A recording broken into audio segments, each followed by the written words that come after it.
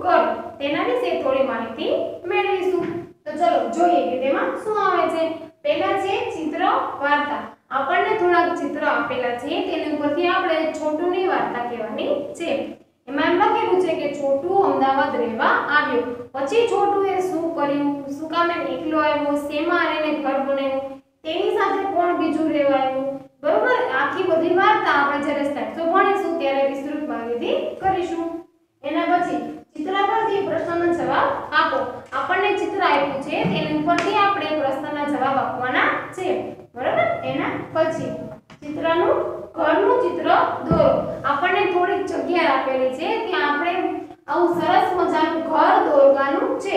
અહીંયા મેં બતાવ્યું છે, તમને આના સિવાય બીજું ઘર દોરતા આવડતું હોય તો તમે એ પણ દોરી શકો છો. પણ દોરવાનું તમારે મમ્મી પપ્પાને કહેવાનું નથી. કેમ કે આવું સિમ્પલ ઘર તો બધાને દોરતા આવડે જ છે. અહીંયા મેં દોર્યું છે, એમાંથી જોઈને દોરી નાખવાનું ચલો એના પછી વિચારો અને લખો કે ઘરમાં કોણ કોણ છે હવે તેમાં આપણને એમ કીધું છે કે તમે વિચારો અને લખો કે તમારા ઘરમાં કોણ કોણ રહે છે તો તમારા ઘરમાં જે સભ્યો રહેતા હોય તેના નામ આપણે લખવાના છે. માનો કે દાદા, દાદી હોય, મમ્મી, પપ્પા હોય, કાકા, કાકી હોય ફાઈ રહેતા હોય તો ફઈનું નામ લખવાનું, એમાં જેટલા ખાના આપ્યા છે તેટલું લખવાનું છે. એના પછી જોડકા ગાઈએ. આપણને એવું આપ્યું છે જોડકું, તેના વિશે આપણે ગાવાનું છે. પણ જ્યારે સાચો ભણીશું, ત્યારે વિસ્તૃત માહિતી ભણીશું. એના પછી ઘરમાં જોવા મળતા જીવનું ચિત્ર દોરો હવે આપણા ઘરમાં કેવો જીવ જોવા મળે તેના વિશે આપણે દોરવાનું છે લખવાનું નથી તો ઘરમાં કોણ જોવા મળે એક તો મચ્છર હોય, માખી હોય કરોળીઓ હોય, ઉંદર હોય બધા જીવસ થયા ને? તો તેના વિશે આપણે અહીંયા દોરવાનું છે. ગમે તે બે ચિત્ર દોરવાના રહેશે. એના પછી, ઘરને સ્વચ્છ કેવી રીતે રાખો છો? હવે તમારા ઘરને તમે કેવી રીતે સ્વચ્છ રાખો છો તે કહેવાનું છે.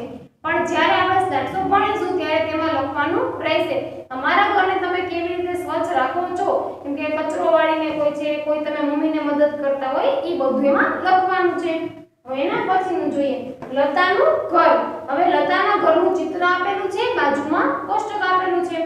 તો આપણે લખવાનું છે તેના વિશે કે ભાઈ લતાએ ઘરને શણગાર્યું છે, કેવી રીતે શણગાર્યું છે? આપણે હોય તો આપણે કેવી રીતે શણગારી એ બધું લખવાનું છે. એના પછી ઘરને શણગારવા કઈ કઈ વસ્તુનો ઉપયોગ થાય છે? ઉપયોગ કરો છો.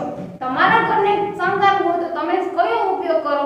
તોરણ, સ્ટીકર, સ્ટાર, તમારે જે લખવાનું હોય, તમે જે કરતા હોય તે લખવાનું છે. પણ ક્યારે? જ્યારે આપણે સ્ટેપ્સો ભણીશું, ત્યારે. આપણે ઘરને ક્યારે શણગારી તો કે કઈ તહેવાર હોય, દિવાળી હોય કે કઈ બી પ્રસંગ હોય, ત્યારે. તો આપણે કઈ કઈ વસ્તુનો ઉપયોગ કરી તેમાં લખવાનો રહેશે. ત્યારે આપણે લખીશું જ્યારે સ્ટેપ્સો ભણીશું, ત્યારે.